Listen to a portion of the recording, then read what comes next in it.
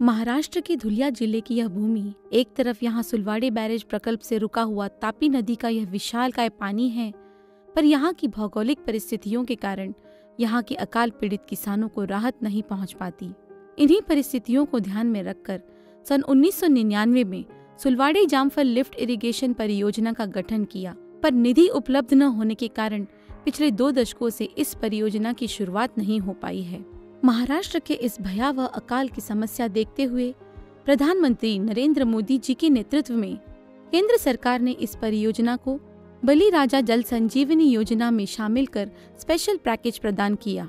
सुलवाड़े jamphal lift irrigation परियोजना का उद्गम मौजूदा सुलवाड़े बैरेज के ऊपरी भाग पर तापी नदी के तट पर नियोजित है, जहाँ से 9.24 टीएमसी पानी लिफ्ट करके उसे कुल पाँच स्टेज में नए तीन डैम और मौजूदा नौ तालाबों में डाला जाना प्रस्तावित है।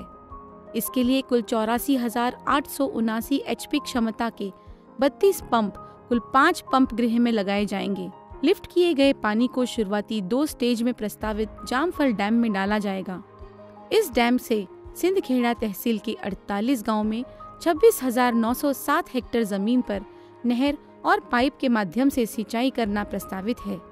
इस डैम में आया हुआ अतिरिक्त पानी आगे धुलिया तहसील के भवानी पिंपले और शेवगी ये तीन डैमों में और मौजूदा नौ तालाबों में डाला जाएगा और दुलिया तहसील के बावन गाँव में 6,460 हेक्टेयर ज़मीन पर नहर और पाइप द्वारा सिंचाई की जाएगी।